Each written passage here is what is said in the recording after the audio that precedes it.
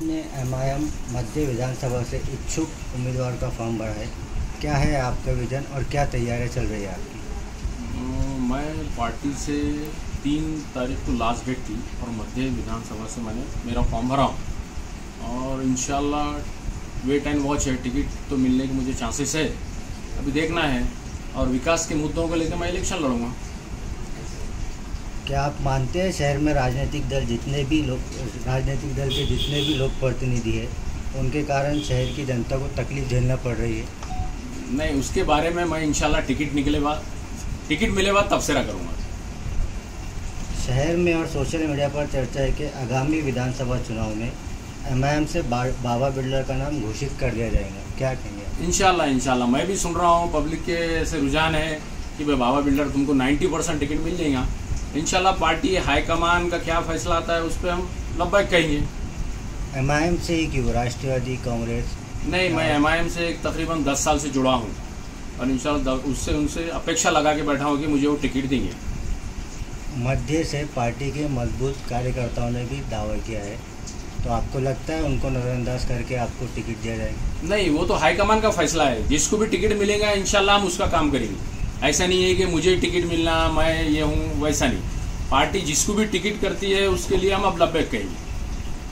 असद साहब से या जलील साहब से टिकट को लेकर कुछ संकेत मिला है? नहीं जलील साहब से मैं मुलाकात करूँगा।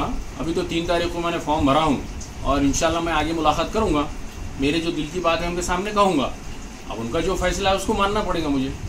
इस बार मध्य से शिवसेना उद्धव बाला साहब ठाकरे भी मुस्लिम उम्मीदवार देने की चर्चा है। क्या इससे आप पर या आपकी पार्टी को कुछ फ़र्क नहीं नहीं? नहीं एमआईएम को कोई फ़र्क नहीं पड़ेगा। एम आई एम का एक वोट बैंक है और एमआईएम को कोई फ़र्क नहीं पड़ेगा। आपकी सीधी टक्कर किससे होगी? अब वो वैसा तो मैं बता नहीं सकता सीधी टक्कर किससे होंगी? वो तो माहौल जैसा रहेगा वो हिसाब से बनेगा। ब्लू प्रिंट क्या निकाले मध्य से क्या विकास क्या विकास क्या है? क्या मसले क्या है मध्य में? मध्य सेंट्रल विकास बोले तो अभी तक तो हमने कुछ नहीं रहते हुए हमारे खासदार जलील साहब थे उन्होंने विकास बहुत किए। और हमने कुछ नहीं रहते हुए लोगों के मसले मसाइल जो भी थे जितने हो सके उतने हमारे तरफ़ से हमने सॉल्व किए।